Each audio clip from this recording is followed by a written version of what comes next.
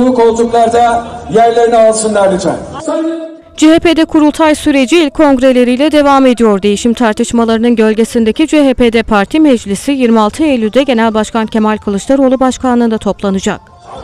hukuk, adalet mücadelemizde 83 milyon ile kucaklaşıp Toplantıda tüzük kurultayı ve 38. olan kurultayın tarihleri netleştirilecek. 1370 delegesi bulunan CHP'de genel başkanın seçileceği olan kurultay için 4-5 Kasım tarihleri öne çıkıyor.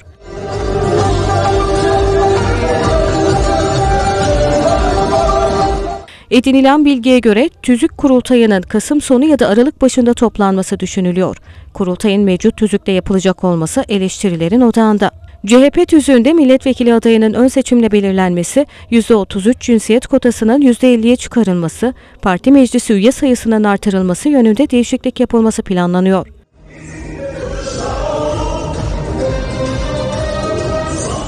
Parti yönetiminin tüzük kurultayını olan kurultay sonrasına bırakma isteği tepkilere yol açıyor.